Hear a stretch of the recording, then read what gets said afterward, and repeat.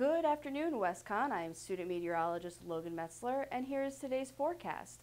We had a chilly start to our morning, but we now have a beautiful afternoon with sunny skies.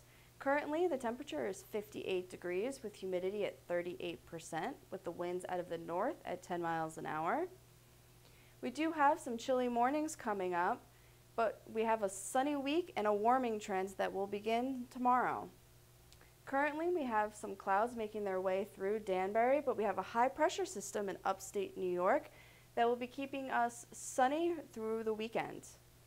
Tonight will be a low of 32 degrees with the winds out of the north at 7 miles an hour. We do have a frost advisory from 2 a.m. to 9 a.m. Friday's high will be a high of 65 degrees with the winds out of the north at 7 to 9 miles an hour. And our extended forecast. We do start our warming trend on Friday with a high of 65 degrees, low 35. Saturday we have a high of 69 with a low of 37 degrees. Sunday we have a high of 71 degrees, low 41.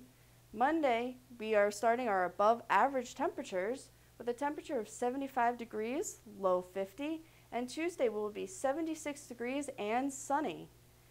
Please connect with us on our social media. I am so student meteorologist Logan Metzler. Have a great afternoon.